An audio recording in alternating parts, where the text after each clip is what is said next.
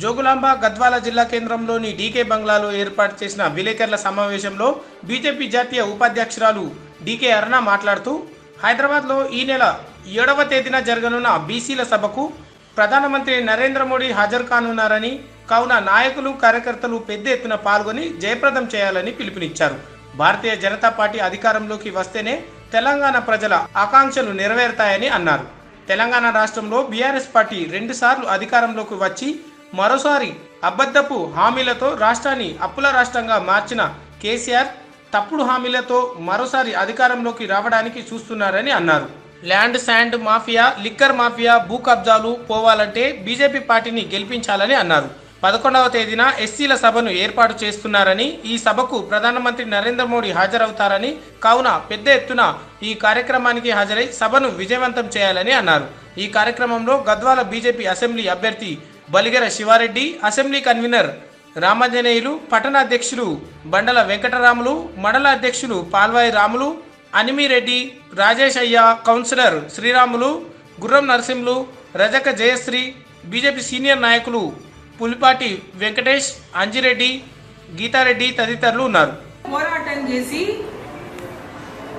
ఉపవాసాలు నిరాహార దీక్షలు చేసి ప్రాణాలకు తెగించి పోరాడింది అన్నమ్మ. నెట్టెంపాటు నీళ్ళు లేవు నెట్టెంపాటు నీళ్ళు వస్తేనే మాకు బతుకులైతే అంటే ఈ యొక్క ప్రజల కోసము గద్వాల నుంచి హైదరాబాద్ దాకా ఎండటి ఎర్రటి ఎండాకాలం రోడ్ల పక్కనే పండుకుంటా రోడ్ల పక్కనే తినుకుంటా హైదరాబాద్ దాకా పాదయాత్రలు చేసి నెట్టెంపాడు కోసం పోరాటం చేసి నెట్టెంపాడు నీళ్ళు తెచ్చి ఈ రోజు ప్రతి పొలానికి నీళ్ళు అందించి ఆ రైతుల కళ్ళల్లో వెలుగును నింపింది అరుణమ్మ. ఈ ప్రాంతంలో ఉన్నటువంటి ప్రజల యొక్క పేద ప్రజల యొక్క ఇళ్ళలో చదువుకునే పిల్లలు లేకుండా ఇవాళ ప్రతి ఇంట్లో వాళ్ళ బిడ్డలను విద్యావంతులుగా చేసినటువంటి అవకాశము ఈరోజు ఆస్కారం వచ్చిందంటే ఆ యొక్క శ్రమ ఆ యొక్క ఫలితాలు సాధించింది అరుణమ్మ కాపాడుకోవడానికి మన లోకల్గా ఉండి మన అందరి సమస్యలు తెలుసుకొని మన అందరి సమస్యలకు స్పందించి ఎల్లవేళలా ఈ బంగ్లా అర్ధరాత్రి వచ్చినా ఎవరొచ్చినా కష్టం కోసం వచ్చినా సమస్యల కోసం వచ్చినా ఏ దానికి వచ్చినా అర్ధరాత్రి కూడా వాళ్ళకి అండగా ఉన్నటువంటి బంగ్లాలు ప్రజలందరూ కూడా ఇప్పటికీ కూడా ఎప్పటికీ కూడా ఆదరిస్తూనే ఉంటారు. ఆ ఆదరణ చూడనటువంటి చూడలేనటువంటి ఓర్చుకోలేనటువంటి కొందరు అనేక మాటలు మాట్లాడుతున్నారు బయట ఇవాళ.